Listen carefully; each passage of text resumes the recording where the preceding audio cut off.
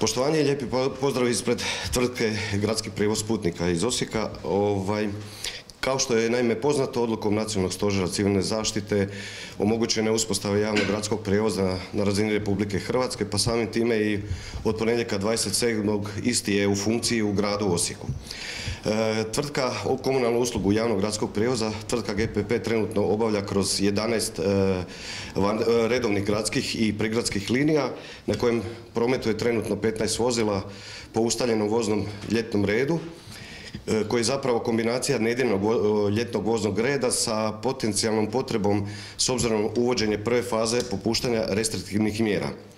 Dakle, od tih 11 linija, naravno na dvije gradske prometuje se tramvajima, dok na devet e, gradskih i pregradskih linija e, naši korisnici, odnosno putnici, mogu se koristiti, koristiti zapravo autobusnim uslugom dijelu autobusne flote. E, što se tiče samog načina korištenja, znači i dalje se vrši ulazak na prednja vrata. Putnici su dužni imati sa sobom važeće mjesečne karte, znači takozvane naše butre. E, naravno mogu i ulaziti sa pojedinačnim i vrijednosnim kartama za koje smo prodaju otvorili naša prodajna mjesta u Remizi i na Gajevom trgu i naravno pored prodajnih mjesta e, tiska. Znači, pri ulasku je potrebno izvršiti validaciju, odnosno prijavu i, i pridržavati se zapravo mjera i preporuka Hrvatskog zavoda za javno zdravstvo. Tu u prilog tome ide činjenica da smo ugradili dozatore na ulazima u vozila i e, putnici su dužni izvršiti zapravo dezinfekciju ruku. Po preporuci Hrvatskog zavoda za javno zdravstvo e, moraju koristiti i bilo bi poželjno da koriste zapravo maske i zapravo da drže ono što je najbitnije udaljenost između sebe ne manjem od jednog metra. Što se tiče nekakve obavijesti informacija. Naravno, ovim putem sugeriramo da se prati e, naša internet e, stranica, tamo će biti pravovremene i pravovaljane informacije. Što se tiče same prodaje i e, onog dijela što smo najavljivali da ćemo izvršiti, izvršiti kompenzacijske mjere, prije svega bih rekao da od 27. znači putnici mogu kupiti redovno karte. E, to je automatski za peti mjesec, time da si mogu voziti besplatno praktički za četvrti mjesec. Oni koji su kupili karte, a nisu se vozili, molimo da se jave u GPP, u naše prodajno mjesto u Remizu, gdje će dobiti upute, a zapravo, kao što smo i najavili, napravit ćemo kompenzacijske mjere tako da se omogući nekakva vožnja, nazovimo u smislu nadoknate, besplatna. To ćemo vidjeti, uglavnom slobodno se javite na naše prodajno mjesto. E, što se tiče ostalih e, mjera preporuka Hrvatskog zavoda za javno zdravstvo, tu bih prije svega e, dio koji se odnosi na GPP, mi ćemo se isto pridržavati tih mjera. Tu, tu prvenstveno mislim na okretištima radimo prozračivanje vozila i dezinfekciju kako putničkog dijela vozila, tako i radnog mjesta u ovom slučaju vozača. Ja bih ovu, priliku iskoristio i apelirao na naše korisnike, pogotovo umirovljenike, da ukoliko nemaju potrebu e, u ranim jutarnjim satima ići e, za obavljati nekakve svoje potrebe i obaveze, da zapravo koriste javni gradski prijevoz u ovim van vršnim vremenima, znači kada ljudi idu na posao iz posla, da zapravo oni se koriste u tim nekakvim drugim terminima. To je za sada to, pratit ćemo razvoj situacije, naravno prilagođavati se e, i našu uslugu i sve što je povezano sa javnim gradskim prijevozom i molimo da sve informacije prate na našim internetskim stranicama.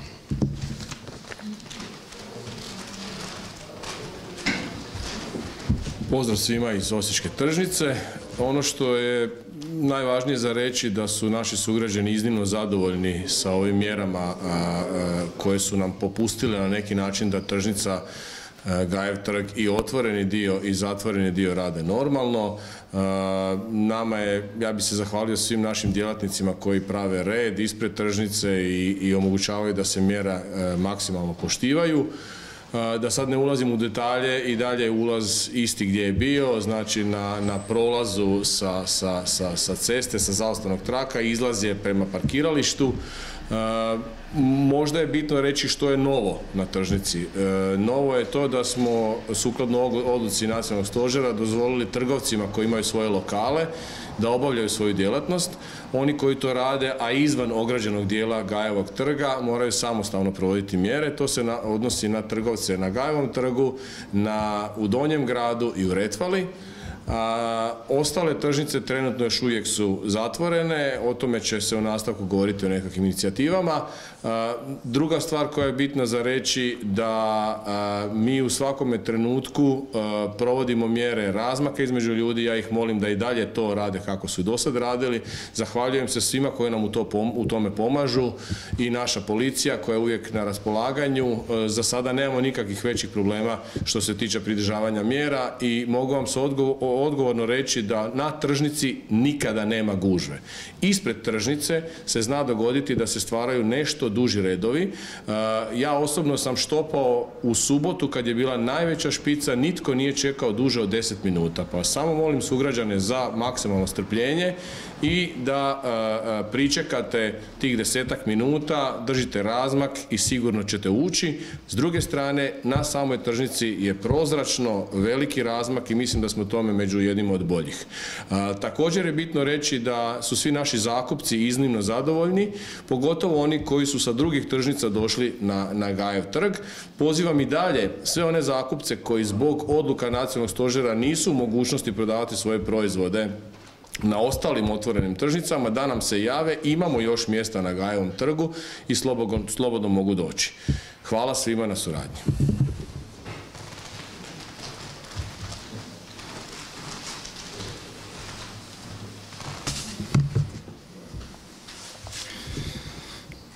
Može. Evo, u dogovoru sa Stožerom civilne zaštite grada Osijeka, Gradsko društvo Crvenog križa Osijek nastavilo sa svojim aktivnostima, e, prvenstveno SOS telefon za dobavu namirnica, lijekova i plaćanja računa, zatim obilazak starih i nemoćnih kroz pučku kuhinju, dostavu toplih obroka i e, kroz program za želi, odnosno naš projekt Osnažena. Ukupno smo evo, u zadnjih sedam tjedana obavili 7780 obilazaka onih rizičnih skupina, e, ukupno je bilo 730 27 korisnika. Tu aktivnost nastavljamo i dalje, iako moram reći da se sad ublažavanje mjera smanjuje broj poziva, pa evo apeliram zaista za naše starije sugrađane da koriste naš SOS telefon za dostavu namirnica, lijekova i plaćanje računa i da što manje izlaze van.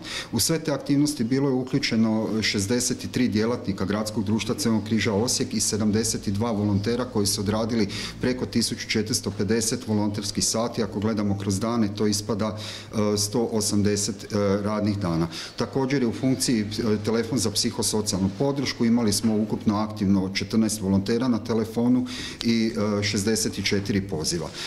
U četvrtom mjesecu su krenuli donacije upravo za one najrizičnije skupine, znači korisnike zamčene minimalne naknade Centra za socijalnu skrb i one obitelji koje su ispod praga siromaštva. Najvrednija od tih donacija je bila donacija tvrtke Žito grupacije Osijek. Preko, odnosno 1407 paketa je podijeljeno po kućanstvima od kuće do kuće, u to je bilo uključeno 1241 kućanstvo, odnosno 2123 korisnika. Tu su i donacije megla i ostalih mliječnih proizvoda. Ukupno je podijeljeno preko 15 tona hrane, e, vrijednosti oko 280 e, tisuća kuna. Gradsko društvo Crvenog križa Osijek i dalje će u suradnji sa Stožerom civilne zaštite grada Osijeka nastaviti ove aktivnosti. Ovim putem bi zahvalio i svim volonterima koji su bili uključeni u aktivnosti i svim sugrađanima na humanosti, ali i gradu Osijeku na ustupljena tri električna vozila koja koristimo za dostavu lijekova, namirnica i plaćanje računa.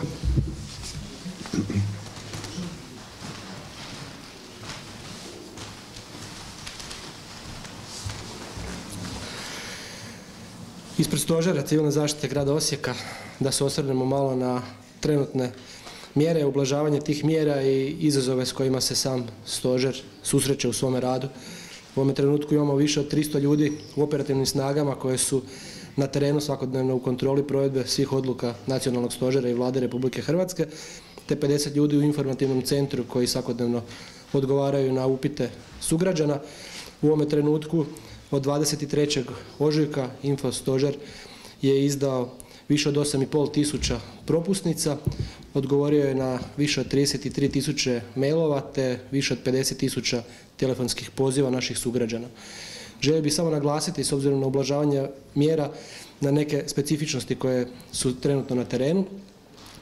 Želim reći da Osječka zelena tržnica u ograđenom dijelu radi pod specifičnim sigurnosnim uvjetima, svi prodavači, zakupci u dijelu izvan ograde, trgovci rade sukladno zaključku vlade Republike Hrvatske od 24. travnja i sukladno preporukama Hrvatskog zavoda za javno zdravstvo podliježu svim inspekcijskim nadzorima te moraju poštivati sve uvjete i ne izlagati robu na otvorenom. Treninzi sportaša prve i druge skupine dozvoljeni su i zajednica sportskih udruga grada Osijeka organizira termine i treninge, za sve ostale sportaše u ovom trenutku treninzi još nisu uvijek dozvoljeni, a sportski tereni, dječja igrališta i sportske dvorane do 4. svibnja sukladno odlukama vlade i zaključcima stožera nacionalnog su zatvoreni za korištenje. Također želimo naglasiti da su u novim preporukama vezano za omekšavanje ovih sigurnosnih mjera obvezni poslodavci mjeriti temperaturu svojim zaposlenicima te ne dozvoljavati onima sa povišenom temperaturom rad te preporučamo svakako da oni vode evidenciju tih mjerenja kako bi u svakom trenutku bila dostupna za nacionalnu statistiku. I još jedna stvar, došla je preporuka Hrvatskog zavoda za javno zdravstvo vezano za rizike oko pojave legionele. Upućen je dopis svim našim ustanovama, školama, vrtićima, zdravstvenim ustanovama koje nisu radile, sportskim dvoranama, da vodovodne instalacije kako tople, tako i hladne vode u 20-minutnom razdoblju odrade protok kako bi se izbjeglo širenje nekakvih dodatnih zaraza i bolesti. Toliko to. Hvala.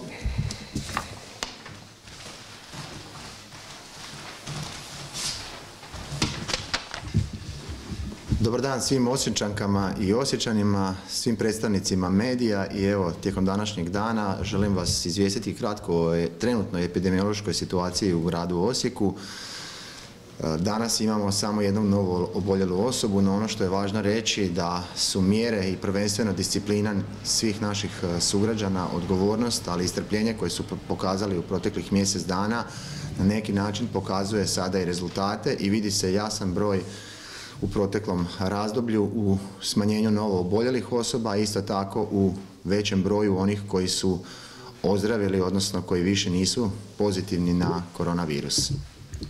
Što se tiče e, drugih e, stvari, želimo naglasiti da smo donijeli odluke u Gradskom stožeru civilne zaštite i da danas upućujemo zahtjev, odnosno preporuke Nacionalnom stožeru Republike Hrvatske sa ciljem pomoći prvenstveno poduzetnicima, u ovom slučaju mislimo na OPG-ovce, zaštiti građana, ali i normalizaciji života u gradu Osijeku, a sve sukladno ublažavanju mjera koje su trenutno na snazi i fazama koje su ispred nas. Prva preporuka koju upućujemo nacionalnom stožeru odnosi se da se dozvoli e, rad tržnici nedjeljom.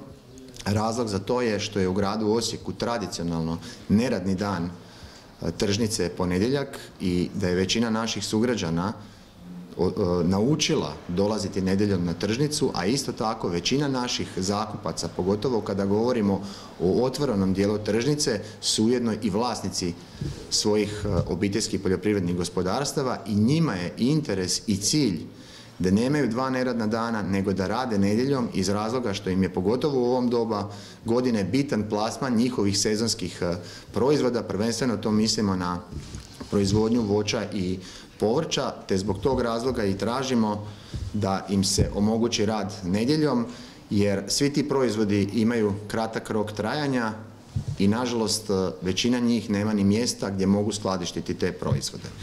Također, druga stvar koju tražimo, a to je e, dozvola aktivacije kvartovskih tržnica, na kojima bi tržnica Osijek e, postavila štandove i klupe, ako treba još na veću propisanu udaljenost i pripremila za rad, a naravno očekujemo da u tom slučaju zakupci budu oni koji su odgovorni za provođenje i za pripremu svih mjera epidemioloških, odnosno protuepidemioloških koje predloži Hrvatski zavod za javno zdravstvo. Na taj način bi omogućili da se prodaja još više odvija na otvorenom i na neki način uz manje gužve i e, manje ugrožavanja naših građana jer je većina njih sada u zatvorenim prostorima odnosno obavlja kupovinu tih proizvoda u trgovačkim lancima. Također, e, treća stvar za koju upućujemo naš zahtjev je da nam se dozvoli postavljanje takozvanih adventskih kućica koje bi postavili u gradskim četvrtima i u mjesnim odborima, naravno da bi išli na varijantu da se postavlja po jedna na svakoj lokaciji i koju bi dali onda u zakup e, onima koji prodaju, koji trebaju plasirati svoje proizvode. Naravno da tu prvenstveno opet govorimo o domaćim proizvođačima, OPG-ovcima, a razlog tome je što većina njih u ovom trenutku ima velike zalihe svojih proizvoda i nije im dovoljno da samo na jednom mjestu znači to je u ovom trenutku Osječka tržnica, plasiraju svoje proizvode jer ne uspiju na jednom mjestu i e, plasirati. U ovom trenutku najveći, uvjetno rečeno, problem su proizvođači e, jagoda kojih ima puno, koji, kojima je nužno zbog kratkog roka trajanja da imaju mogućnost na više lokacija ponuditi e, svoje proizvode, a naravno da bi grad Osijek u tom slučaju raspisao javni poziv ponudio licitaciju, javne površine dao bez naplate, a zakupci bi samo platili nužne troškove ili najma i e, donošenja, odnosno postavljanja kućice na e, željeno mjesto. Također očekujemo vrlo skoro od Hrvatskog zavoda za javno zdravstvo da donosi, da donese i preporuke za sve one mjere koje kreću od četvrtoga petoga, a odnose se na E, pokretanje gospodarskih i drugih e, djelatnosti i te ćemo e, mjere objaviti kao što smo to uvijek objavljivali do sada na web stranici grada Osijeka.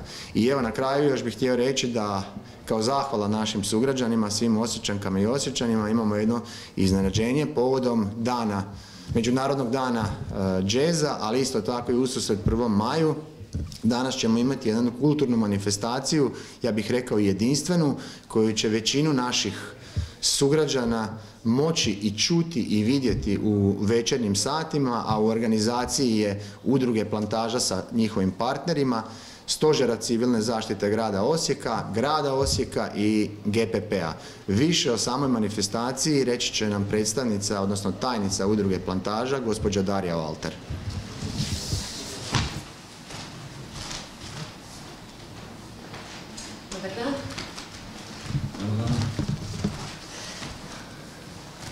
Može? Pa evo, drago nam je što ove godine se Međunarodni dan džeza može obilježiti na pomalo drugačiji i neobičan način i to uh, u suradnji sa gradom Osijekom, gradskim prijevozom putnika i Centrom civilne zaštite iz razloga što ovaj današnji datum se obilježava na svjetskoj razini od 2011. godine, pa tako i u Osijeku već četvrtu godinu za redom i to u organizaciji udruga Plantaža, Plesni studio Shine, Slama, Kultakt, Reart, Partviš te sa osječkim glazbenicima bez kojih naravno Međunarodnog dana džeza ne bi ni bilo.